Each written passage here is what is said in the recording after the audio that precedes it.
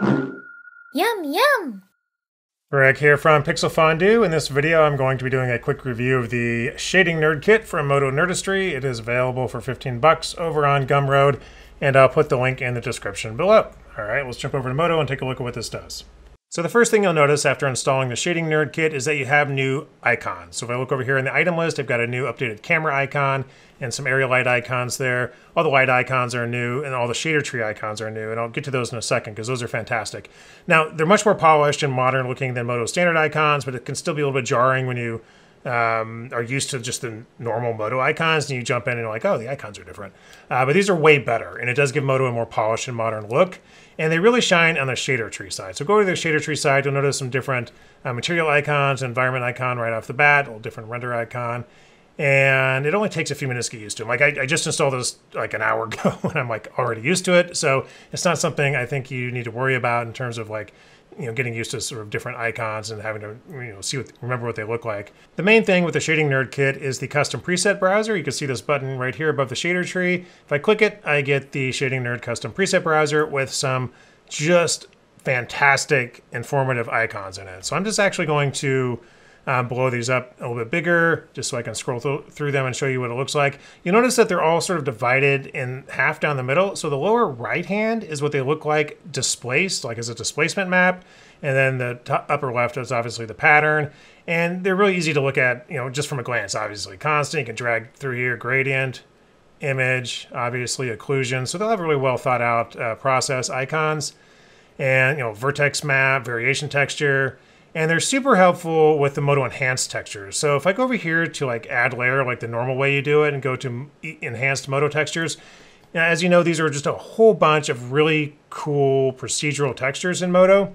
Um, my list is sort of falling off my screen here, but there's just, there's a ton of them. They're all in like subcategories and they have names like uh, frog skin and, you know, hurricane and just stuff that doesn't necessarily make makes sense. Uh, you know, crackle, uh, what does that look like, right? So, you know, that doesn't even give you much to go on. But if you look at the uh, Shading Nerd kit here and I go over to these, let's say I look at skins, and I want to know what frog skin looks like, well, it looks like that. We've got a really nice icon, and it's right there along with all the others. And it really, you know, lets you know what these are going to look like without having to do some test renders or bring them in the scene and see if it's what you want. You can really just sort of browse through these and, and decide if, you know, what you want is right here. So again, normally you would select a mask and go to this menu right here and pick from these nested text things.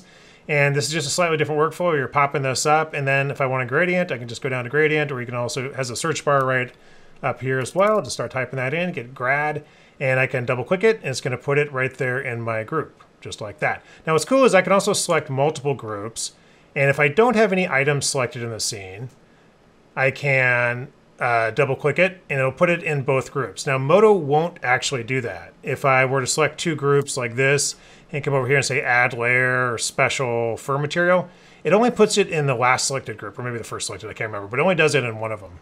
Let me just go ahead and delete the fur material, don't need that in the scene.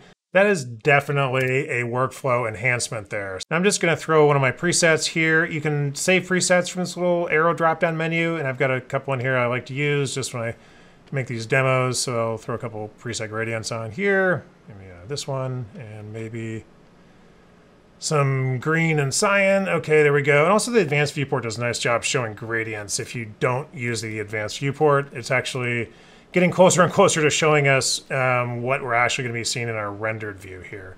I can also use the shortcut Shift N to bring up my preset browser, as in new, like a new layer, and I could throw in, let's just do some nice like organic looking thing here. Maybe uh, the concrete noise looks good. You just double click that, and we'll set this to, I don't know, put it uh, maybe diffuse amount or something like that. So that's a really nice way of working as well. Again, select your mask, press Shift N, and then just pick, you know, whatever. I'll pick some uh, some dots, maybe. I always like dots. And again, we'll just set these to uh, diffuse them out. And again, what I really like about these icons is that, you know, the same icons are here in the shader tree.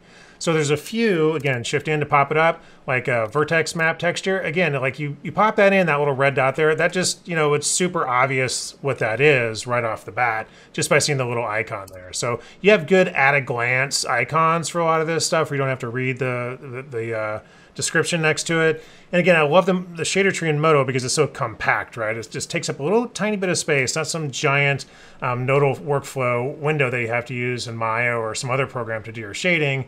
It just takes up a little tiny space here and you get a lot of information at a glance, right? So there's also some nice little keyboard shortcuts and pie menus in the Shading Nerd kit. So I can select my group here, the side group, and do control space. And I get some really common things like material or shader or group or image map. So I want to put an image map in there. I just swipe that way. I don't have to do shift N or open the preset browser or go to this add layer. I just just hover over it, control space, image map. Boom, done.